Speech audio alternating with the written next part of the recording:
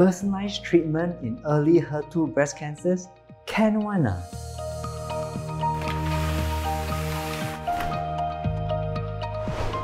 Hello, I'm Dr. Kiley, breast oncologist.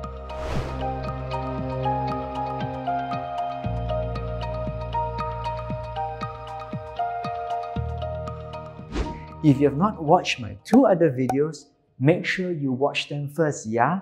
It will help you to better understand this video. We take a few things into consideration when we decide what is the best treatment for you.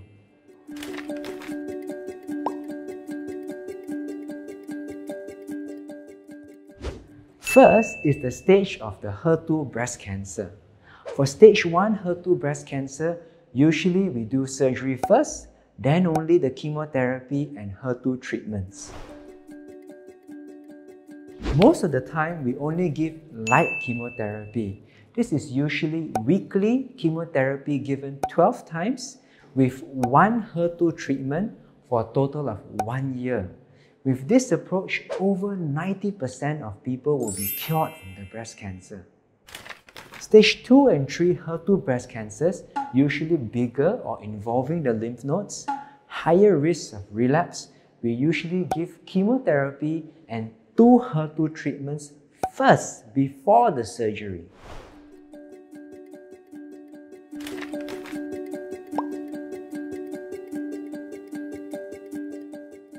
Secondly is how the cancer responds to the chemo and HER2 treatments.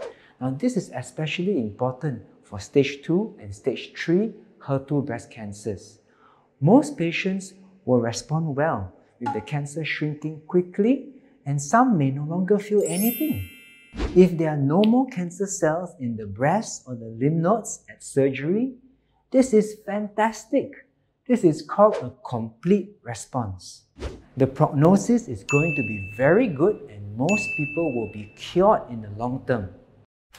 If there are still cancer cells in the breast or the lymph nodes, alamak, this is no good. The chances of the cancer coming back again is higher. The more cancer there is left, the worse the prognosis. So here, we need to change the HER2 treatment to another HER2 medication to further lower the risk of the cancer coming back. If we didn't give the chemo and HER2 treatments before the surgery, we wouldn't know how people responded to the treatment and whether we need to change the treatment or not. So it is really important we give the chemo and HER2 treatments first before the surgery. Remember, yeah?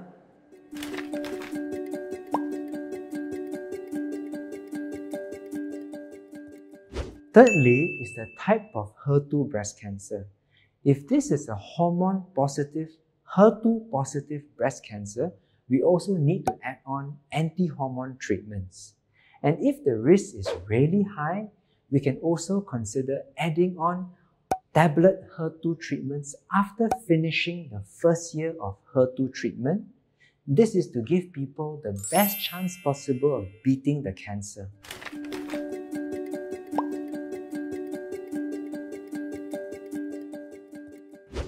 Lastly is who is having the treatment. Older people or people with many medical problems are at higher risk of side effects from the treatments. So we need to choose safer chemotherapy recipes, like ones that are safe for the heart and less likely to affect their immune systems. There are also chemo recipes that are gentler on the hair with these patients, we can possibly save their hair with scalp cooling treatments. Then there are personal preferences on how the HER2 treatments are given. Most people have the HER2 treatments through a drip, but some can just be conveniently given through an injection under the skin. So what should the treatment plan be? So the treatment plan should be personalized to give people the best chance of beating the cancer with as little side effects as possible. Hope you've learned a few things from this video. Make sure you check out my other videos on HER2 breast cancers. If you like this video, hit the like button and subscribe to this channel.